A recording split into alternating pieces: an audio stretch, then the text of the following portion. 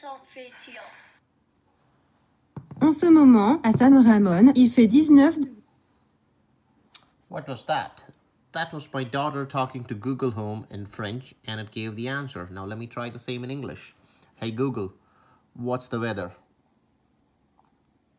Currently in San Ramon, it's 60.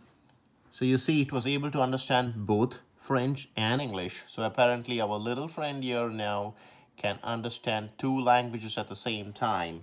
Uh, two of the five or so languages that it supports, I believe, English, uh, French, German, Italian, Japanese, and Spanish. And uh, you don't need to keep switching between the settings. You can go and uh, have it changed uh, you know add two languages and it's going to be bilingual so it can basically understand all these lang uh, both the languages at the same time. One thing it cannot do is you can't mix up two languages like speak half in english and half in french in the same sentence. It will not understand that. Uh, apparently they're going to add many more languages is what i read around or what i hear.